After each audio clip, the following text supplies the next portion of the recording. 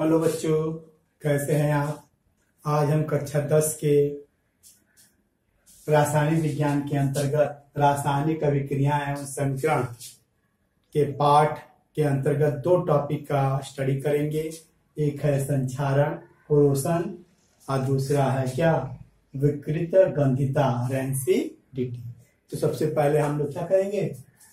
संचारण ये संचारण जो है कोरोसन है, जबकि विकृति है रेंसिडिटी है। ये दोनों जो है किसके एग्ज़ाम्पल है? ऑक्सीकरण का दैनिक जीवन प्रभाव ये दोनों क्या है? वेस्टफुल प्रोसेस है।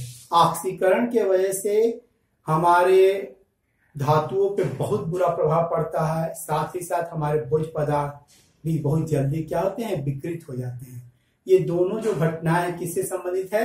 ऑक्सीकरण से। ऑक्सीकरण से कहते हैं ऑक्सीजन का जुड़ना ही क्या कहलाता है? ऑक्सीकरण कहलाता है। ये दोनों जो एग्ज़ाम्पल है वेस्ट प्रोसेस है मतलब खराब प्रोसेस है। आइए पहले देखते हैं संचारण हवा में जो वर्तमान ऑक्सीजन होता है कार्बन डाइएस होते हैं।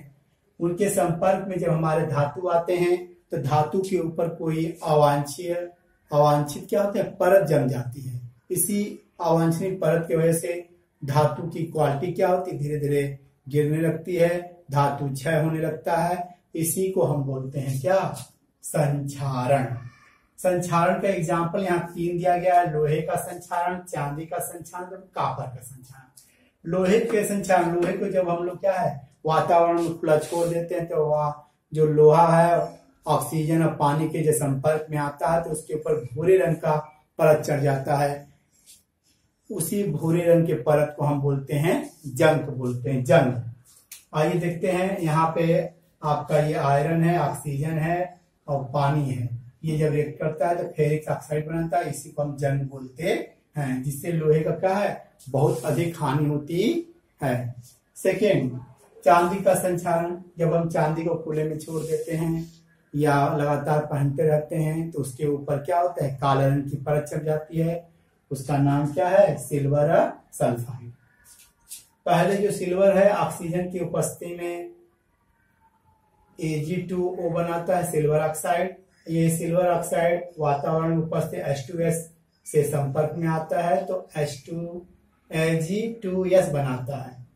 सिल्वर सल्फाइड बनाता है और जल बनाता है। यही सिल्वर सल्फाइड काले परत के रूप में चांदी के ऊपर जमा हो जाती है।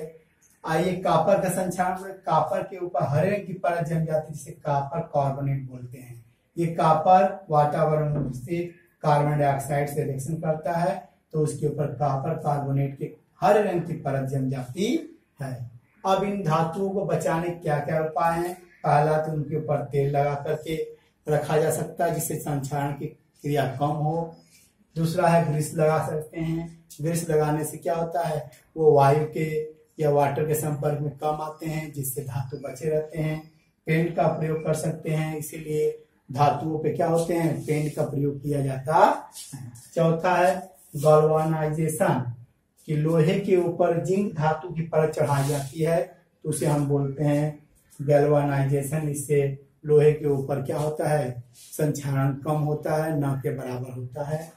अगला है इलेक्ट्रोप्लेटिंग लोहे के ऊपर हम लोग टीन का या क्रोमियम का प्लेटिंग कर देते हैं, परत चढ़ा देते हैं, जिससे लोहा संचारण से बचा रहता है। जैसे आपका साइकिल का जो हैंडल है, सफ़ेद रंग वाला, और रिंग जो होता है, रिंग जिसे बोलते हैं, वो सब क्या है? इलेक्ट्रोप्लेटिंग का एग्ज़ाम्पल है। इस तरह हम लोग क्या किए संचारण से धातुओं की सुरक्षा कर सकते हैं। अगला टॉपिक है विकृत गंधिता रेंसिडिटी इसी को हम लोकल भाषा में बासी होना, भोजन का बासी होना। भोजन में ऑयली या लिपिड कंटेनिंग फ़ूड में कम कंपोनेंट्स होते हैं, वो ऑक्सीजन के प्रेजेंस में रिएक्शन करते हैं जिससे भोजन का जो स्वाद है, रंग है कलर है, रंग हो गया कलर हो गया, ये सब क्या होता है? बदल जाता है। और भोजन धीरे धीरे खराब हो जाता है। यदि ऐसा भोजन कोई करता है तो स्वास्थ्य के लिए हानिकारक होता है। ऑक्सीकरण की वजह से भोज पदार्थों का खराब होना ही क्या कहलाता है? विकृत दंता या रेंसिडिटी कहलाता है। इससे क्या बचाव है? इससे यही बचाव है कि भोज पदार्थों को anti tight anti tight container में रखें। भोज पदार्थों को लो टेम्परेचर अर्थात फ्रीजर के या फ्रिज के अंदर रख सकते हैं। जो कुरकुरे होते हैं चिप्स होते हैं, ये लोग क्या हैं? जिस पैकेट में रखे जाते हैं, उसमें नाइट्रोजन गैस भरी होती है। वो नाइट्रोजन गैस क्या होती है? कम क्रियाशील होती है एज कंपेयर ऑक्सीजन से तो ऑक्सीजन को बचाने के लिए उस पैकेट में हम लोग क्या करते हैं? नाइट्रोजन रख देते हैं, जिससे भोज पदार्थ लंबे समय तक सुरक्षित रहता है। या एंटीऑक्सीडेंट का प्रयोग कर सकते हैं बी एच ए या बी एच टी है ब्यूटिलेटेड हाइड्रोक्सी एनिसोल है, और ब्यूटिलेटेड हाइड्रोक्सी टॉलोइन है। इन एंटीऑक्सीडेंट का प्रयोग करके हम भोज पदार्थों को लंबे समय तक सुरक्षित रख सकते हैं। इस तरह हमने क्या किया? केमिस्ट्री के first lesson chemical reaction and equation को हम लोग समाप्त कर लिए। अगले लेसन में हम लोग क्या पढ़ेंगे? एसिड और एल्कली जिसे अम्ल और क्षार कहते हैं, उसका अध्ययन करेंगे। धन्यवाद।